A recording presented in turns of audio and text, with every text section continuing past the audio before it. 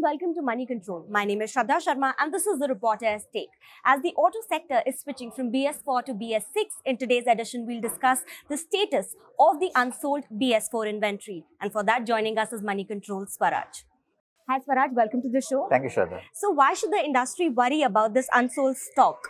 Well, firstly, uh, the deadline for a changeover to BS6 is April 1 as defined by the Supreme Court. Uh, that means that no BS4 vehicles will be allowed on sale after March 31st of uh, this year, which is just about a le little less than six, uh, six weeks to go. Uh, this the industry is very much keen on avoiding a repeat of a BS3 to BS4 changeover, which happened in 2017. Also, when the Supreme Court had to step in to, uh, to block sale of BS3 vehicles up uh, after April 1, 20, 2017. At that time, the industry was saddled with stocks of 45,000 units, collectively worth over 5,500 crore. Now, uh, obviously, the company, uh, all the industry does not want a repeat of that.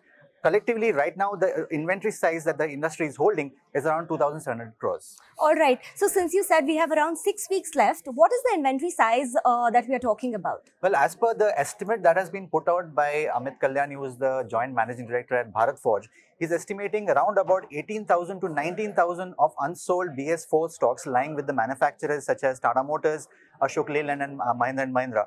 Now, together, these three companies hold about 85% of the domestic market. Uh, there are about, as, I, as we spoke about, there are 2,700 crore worth of unsold BS4 stock lying in the market. Only Ashok Leyland has come forward to claim a stock of, a stock of around 6,500 units of BS4.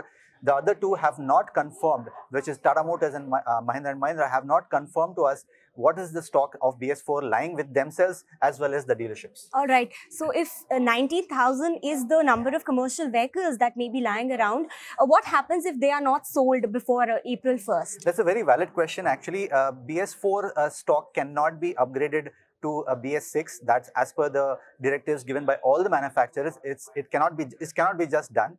Uh, to all the BS4 vehicles will have to be scrapped after uh, March 31st uh, of 2020, uh, which means that the value of those stock will be uh, coming down to just zero. Of course, exports was an option uh, during BS3 to BS4 transition, but that option is still not there for BS4 stock because most of the market that India exports to, one, they do not have BS, they have not upgraded to BS4 and two, their um, their mechanism has been not upgraded to BS4, which means that the the product inventory that uh, manufacturers have in India cannot be sold in those export markets. All right, thank you for that information. With that, it's a wrap on today's edition of Reporter's Take. For more news, views, and updates, stay logged on to moneycontrol.com. Thanks for watching.